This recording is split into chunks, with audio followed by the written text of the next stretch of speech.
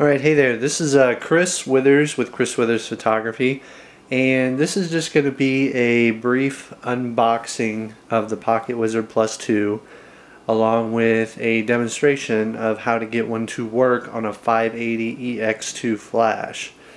Now let's go ahead and get started. Uh, first things first, we're going to go ahead and we're going to unbox this. This is a brand new one that I bought recently. Um, just to have extras. It's never a bad thing to have extras. So let's go ahead and show you what comes out of this real quick.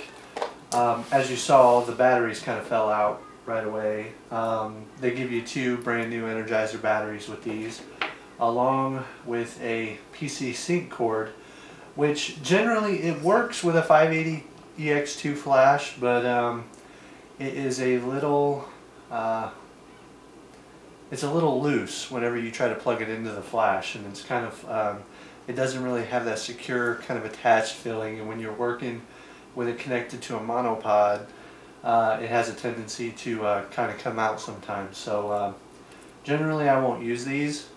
Uh, so it also comes with a strap. This strap here is um, just for kind of keeping it from falling in certain situations so we got the batteries, the strap, and the cord so far. Now, here is the uh, Pocket Wizard. We'll get to that in a second. It also comes with a manual, which I suggest you read at least one time just to get a clear understanding of all the features that it offers.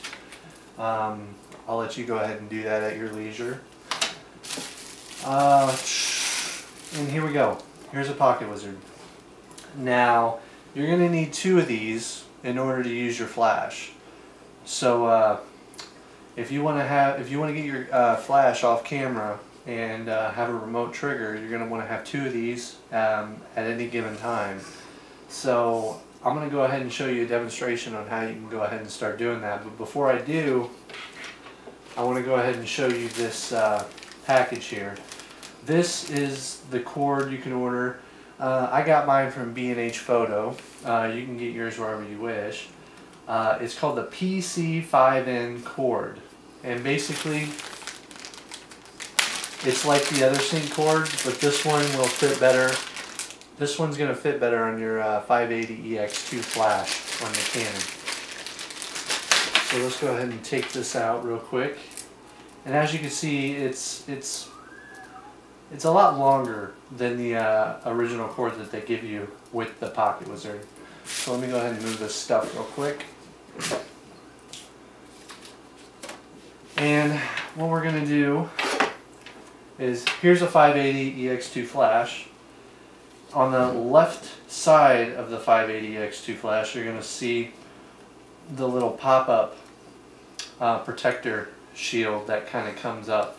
And what you're going to do with that is you're going to want to take this end here and you're going to want to connect that. So let's go ahead and do that carefully.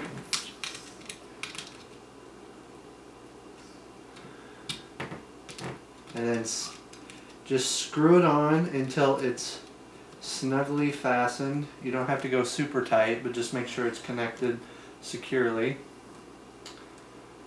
Alright, now that that end is connected, what we're going to do is we're going to take our pocket wizard and we're going to plug it into the port that says flash. Just like so.